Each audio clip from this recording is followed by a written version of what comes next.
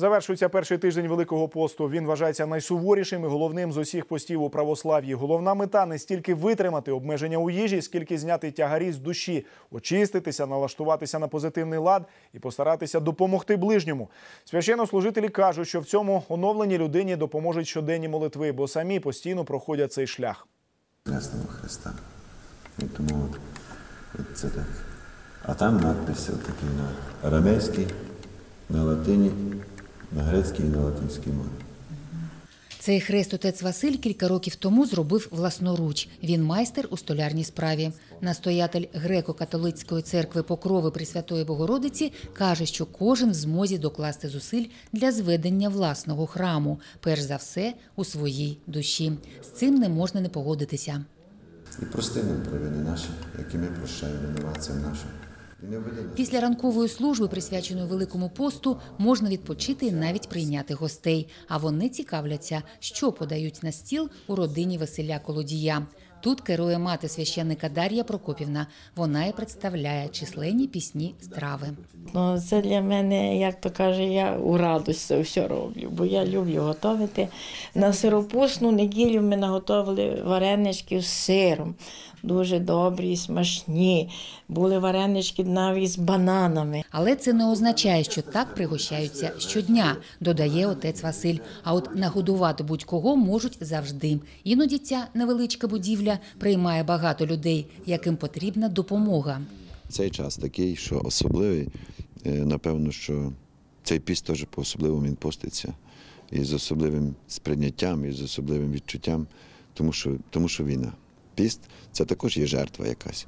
І ця жертва нехай буде спрямована знаєте, на добро, на благо, на благо України, на благо церкви, на благо народу.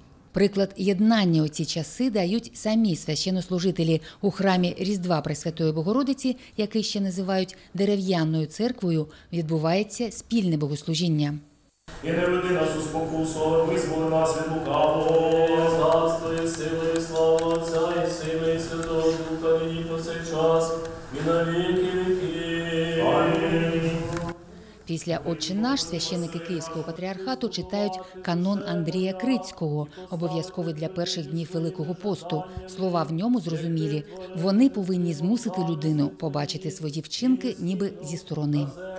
Візьми з мене тяжкий тягар віховний, як милосердний подай мені сльози. Сьогодні ми згадуємо 40-денний піст самого Ісуса Христа, кажуть віряни.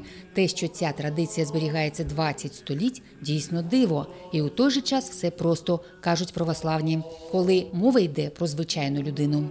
Кожен з нас відчуває, який гріх є на душі. Е, У нас же ж є совість, це голос Божий всередині. Він підказує нам, що ми не так робимо. Денна молитва у звичайні дні збирає небагато людей, але тут немає випадкових. Ну, стараюсь дотримуватися посту і більше уваги зараз придаю в піст молитві, до сповіді ходити, до причастя. Це для мене піст.